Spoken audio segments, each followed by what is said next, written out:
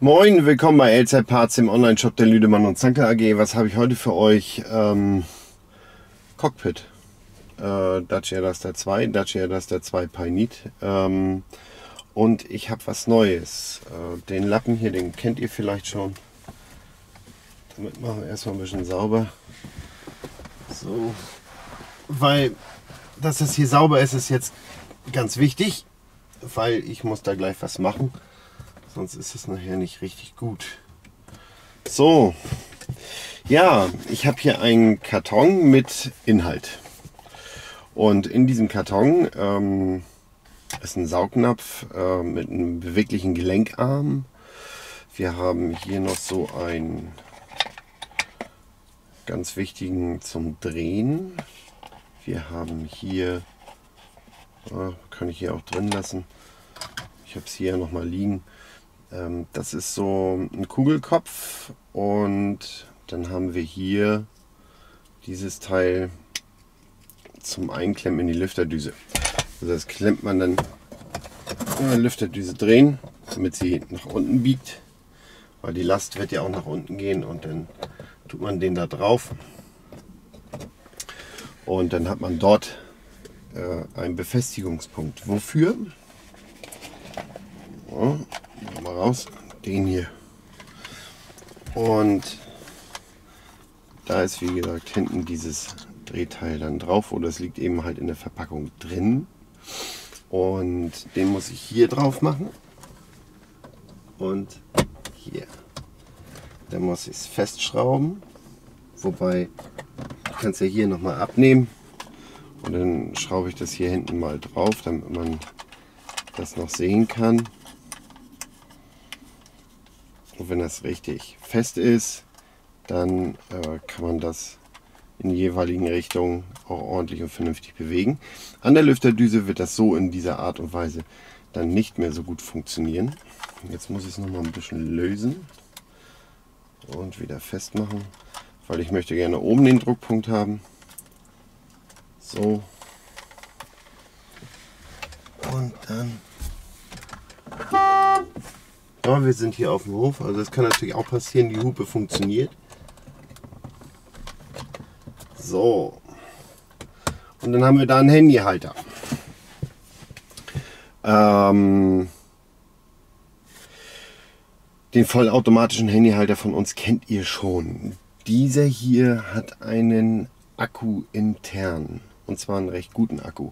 Wir haben bei dem anderen vollautomatischen, und das steht auch im Angebot drin, bei unter Einfluss von Kälte und schwachen Batterien, ähm, ja, funktioniert er nicht so, wie er soll. Also da braucht man wirklich richtig, richtig gute Batterien. Ähm, und je, minus, minus 0 und drunter weiter minus, da wird es dann schwierig. Hat dieser hier nicht. Ähm, wenn wir den mal einschalten, funktioniert er aber genauso geht dann auf und dort kann ich dann mein Handy reintun, das dann auch festgehalten wird. Ähm, ich kann das Handy auch ja, hier mit der Lüfterdüse jetzt anscheinend drehen. Die Lüfterdüse muss natürlich so stehen bleiben und das Handy sollte dann so stehen. Das kann man natürlich einstellen, wie man es gerne möchte. Ähm, das aber, ja okay, frei schwingt, nicht wahr? Muss man selber für sich entscheiden. Also ich mag so in dieser Form nicht, aber dieser Handyhalter ist ja nicht nur für Dacia. Eigentlich kann man ihn ja für alle Modelle, egal welches, ob das Renault ist, ob das die anderen Marken sind, ähm, kann man ihn ja verwenden. Ja, ich ziehe ihn jetzt hier einfach mal ab, weil ich setze ihn hier nicht ein, da gibt es andere Möglichkeiten. So, deswegen machen wir das hier wieder zu. Ähm, ich nehme mein Handy mal wieder raus aus der ganzen Geschichte. Ich schalte ihn wieder aus. Und dann schraube ich das hier mal wieder los. Und wir nutzen die nächste Möglichkeit, die wir haben. Die nächste Möglichkeit ist Saugnapf.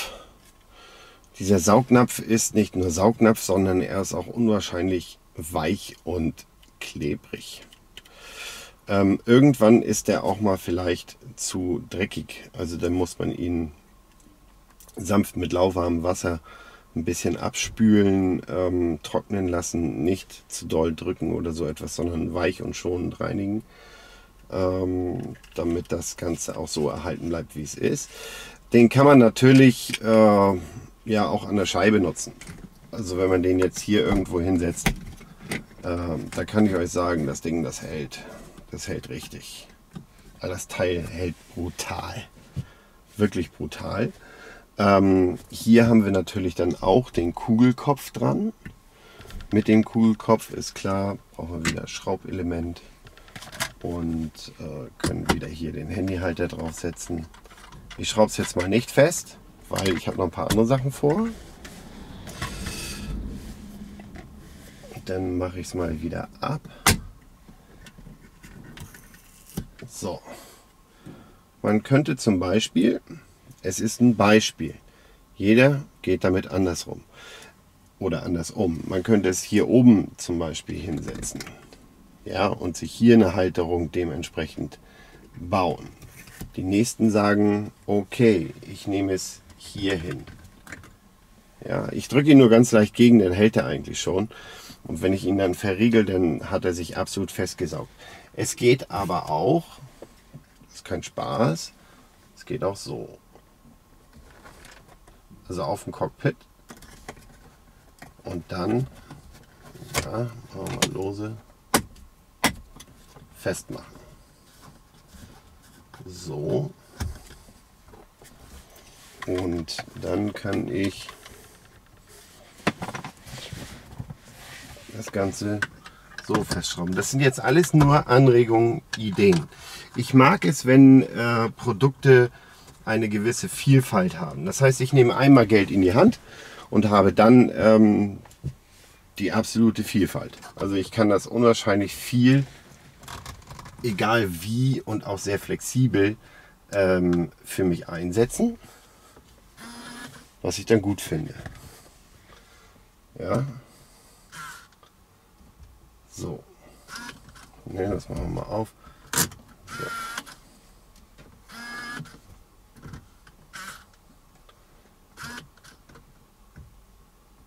Na, ich darf nicht hinten dagegen kommen, sonst äh, wird das nichts. Und es muss natürlich richtig fest sein. Eine Google-Mitteilung brauche ich jetzt nicht. Also dann habe ich den Bildschirm quer. Wer es so mag, kann es so machen. Ja, das ist jedem selbst überlassen. Äh, ich kann genauso gut jetzt das Ganze hoffentlich mal lösen.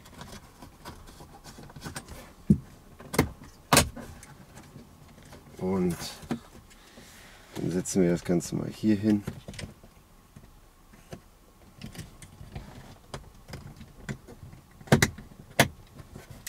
Da gibt es bestimmt noch ganz viele andere Möglichkeiten, an die ich hier jetzt noch nicht mal denke, aber die 100 Pro dann zum Einsatz kommen.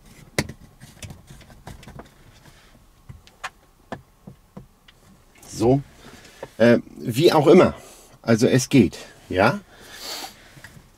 Gut, dann machen wir jetzt mal wieder los, weil kommen wir mal zum nächsten. Ne? So. Oh, ist ganz schön fest. Aber ich will nicht unbedingt die Garantie geben, dass das mit dem Saugnapf auf dem Board auch immer klappt, weil das ist eine Sache von Sauberkeit, Ordentlichkeit. Ähm, wie ist das Board beschaffen? Ist es mit Soft-Touch-Lack und äh, Wasser- und Schmutz abweisend.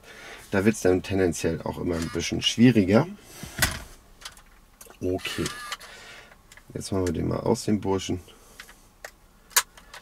Sonst geht er ständig auf und zu. Also, ich kann hier mit diesem Teil, mit diesem Saugnapf, habe ich auch viele Einstellmöglichkeiten. Boah, es wird verdammt warm hier im Auto. Ich mache mir die Tür auf wenn mir selbst die Hände schwitzig und kriege es gar nicht gedreht, dann kann ich ihn äh, in diese Richtung schwenken. Ich kann äh, ihn komplett nochmal hier ausfahren. Äh, das ist also schon eine Menge. Nur je länger das Ganze gesteckt ist, desto mehr Bewegung ist in dieser ganzen Geschichte nachher drin. Und Bewegung, Bewegung mag ich nicht. Okay. Mein Geschmack. Ich zeige hier nur die Möglichkeiten, die man damit hat. Ob man die für sich nutzt oder nicht, muss ich ja immer wieder sagen. Weil sonst kommen ja die Ersten, die im Video dann gleich wieder reinschreiben, äh, was soll der Blödsinn? Ich habe hier einen ganz einfachen. Ich bin auch ein Fan von Magnethalterung. Gut, günstig, klein, praktisch. Irgendwo eine Kugel hinkleben, ähm, das Handy hinten, Metallplatte drauf, gegenmachen, fest, sitzt. Wahnsinnig einfache Lösung. Finde ich nicht schlecht. Aber, jetzt kommt das Aber, es ist immer mehr im Vormarsch QI, QI-Ladefunktion. Das heißt, alle Handys, die jetzt mittlerweile auf den Markt kommen, sind fast alle QI-ladefähig. Und hinten Magnet drauf, hm, das wird dann schwierig weil dann funktioniert das mit dieser QI-Ladefunktion nicht mehr. Ähm, wir haben in diesem Set, ja, wo also dieser Handyhalter drin ist, haben wir noch einen Stromadapter für die 12 Volt Bordnetzsteckdose mit zwei USB 3.0 Anschlüssen. 3.0, das heißt, die liefern richtig hohe Ströme. Also das ist kein Blödsinnsadapter, der da drin ist, sondern das ist ein richtig guter. Wenn ihr wollt, dann könnt ihr da zwei iPads anschließen und die werden geladen im Auto. Das ist so. Und ähm, meinetwegen auch iPhone X oder wie auch immer. Ähm, zwei Geräte, die werden mit diesem Adapter geladen. So, diese Ladeströme werden durch ein Kabel geleitet. Das Kabel ist auch hier mit drin. Und das Kabel hat einen USB-C Anschluss. USB-C, der Anschluss ist hier unten zum Laden des internen Akkus. Aufpassen jetzt, nichts falsch verstehen. Ich mag, wie gesagt, ja, den Weg der Nulltoleranz, absolut keine Bewegung, richtig schön starr und fest. Und der beste Platz für ein Handy ist meistens da, wo die Lüfterdüse sitzt. In diesem Fall haben wir hier eine Lüfterdüse in der Mitte. So, und in der Lüfterdüse habe ich hier einen USB-C-Anschluss und na, kommst du her oder willst du jetzt nicht? Jetzt wird es ein bisschen fummelig. Es ging vorhin noch so gut. Nein, ich habe das nicht geübt. So, und ein Lightning-Anschluss. Das heißt, diese beiden Kabel habe ich in der Lüfterdüse im Board dahinter verlegt, damit man diese Kabel nicht sieht. Ich mag es nicht. Ich mag keine kabellose rumfliegen haben. Okay. Und die laufen dann im Board dahinter zu einem elektrischen Anschluss mit einer eigenen Sicherung und auf genau diesen Adapter, der eben halt diese hohen Ladeströme liefert. Das Lightning-Kabel geht direkt auf den USB-Anschluss von dem Alpine Radio. Und diesen USB-C-Anschluss, den brauche ich ähm, hier für meine Ladefunktion. Zum einen wird dann nämlich dann äh, der interne Akku geladen und zum anderen habe ich die QI-Ladefunktion. Das wird mir hier per LED dann gezeigt. Ich nehme es hier jetzt nochmal ab. Weil und das kommt. Es gibt für dieses, diesen ja, Handyhalter, Smartphone-Halter eigentlich eher, einen Adapter. Und zwar in Form einer Kugel. Die habe ich hier drauf geklebt. Regulär ist das ein Adapter für unseren innovativen Handyhalter. Ähm, wenn ihr den habt, dass ihr mittels Adapter diesen da drauf bringen könnt. Allerdings, und das habe ich den Hersteller auch schon mitgeteilt, ähm, hat dieser Adapter in dem innovativen Handyhalter von uns ähm, zu viel Spiel. Das ist so. Das liegt anscheinend am Werkzeug, was über die Jahre eben halt jetzt gelitten hat. Das wird nicht erneuert. Da ist zu viel Spiel drin. Jetzt kann man das verkleben. Okay, dann ist es eben halt starr. Ähm, das nur als Hinweis. Aber ich habe diesen Adapter ganz einfach plan geschliffen Dann habe ich ähm, ein 3M-Klebeband genommen, habe das dementsprechend hier drauf geklebt.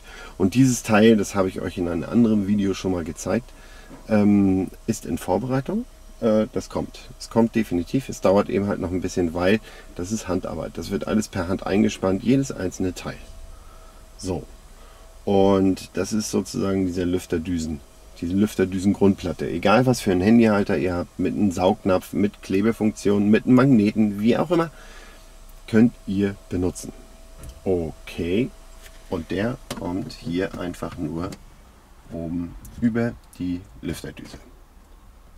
Okay, jetzt kann ich natürlich erstmal den darauf bringen und ihn festschrauben. Das ist ziemlich stramm. Da muss ich drücken und drehen gleichzeitig. So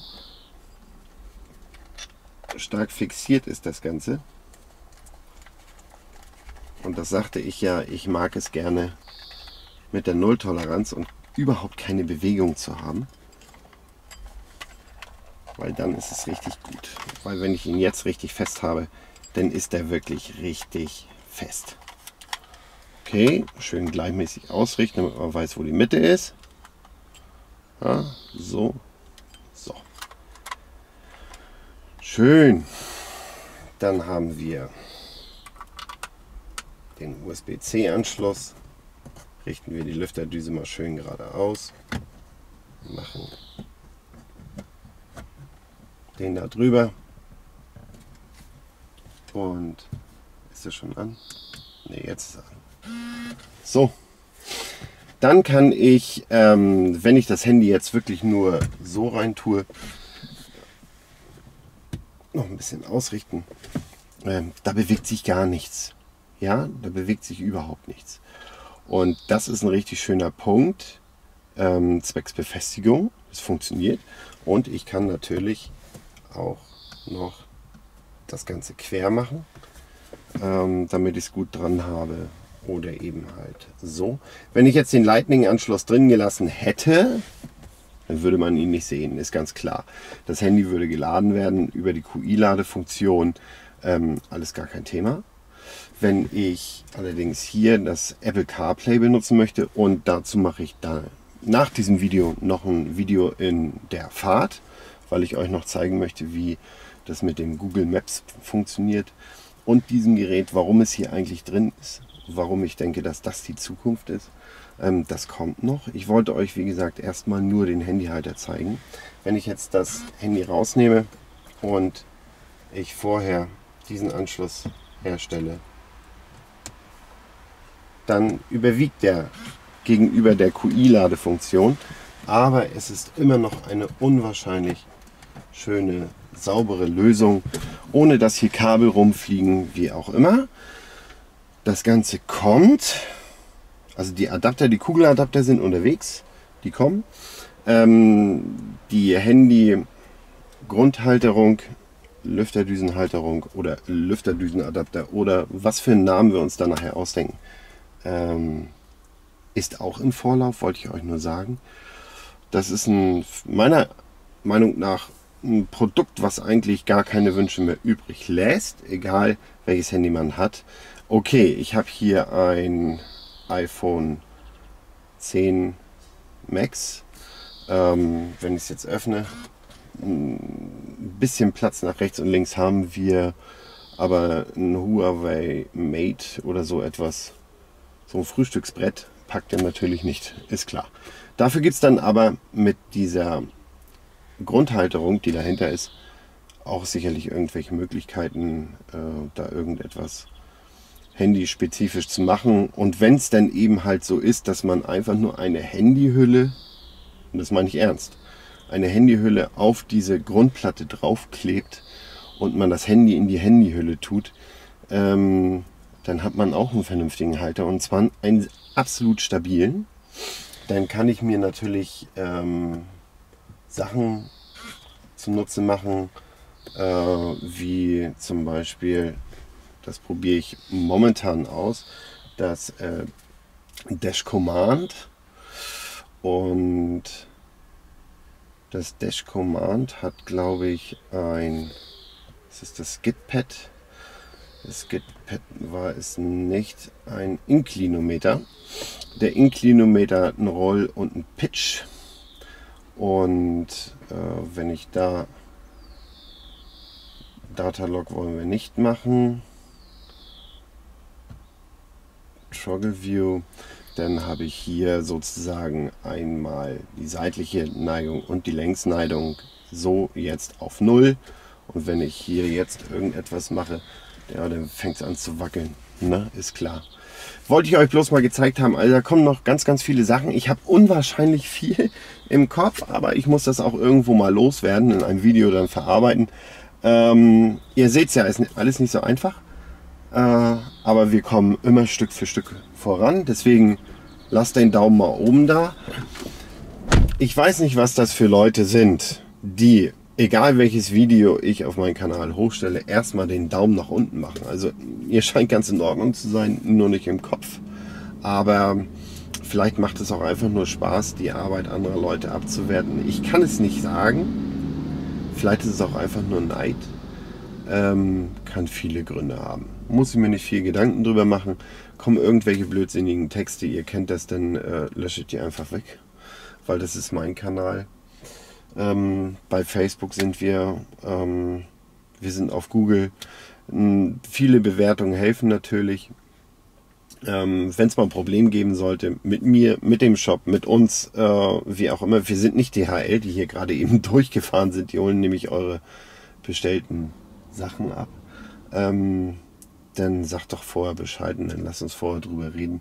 Ich bin mir ziemlich sicher, dass es fast für alles immer irgendwie eine Lösung gibt. Okay, in diesem Sinne, ich wollte es euch nur zeigen, da kommt ein neuer Handyhalter. Ich mag dieses Teil, äh, ich finde ihn richtig gut. Äh, und wenn ich ihn richtig gut finde, äh, ich verkaufe gerne Sachen, wo ich zu 100% hinterstehe. Ähm, und hoffe, dass euch die dann auch gefallen. Okay. Preise kennt ihr, posten wir nicht im Internet, weil das vergisst nicht. Aber er ist preislich sehr, sehr, sehr attraktiv. Das kann ich euch versprechen. Okay, in diesem Sinne, ich hoffe wie immer, dass ich weiterhelfen konnte und sage auch wie immer, bis denn dann.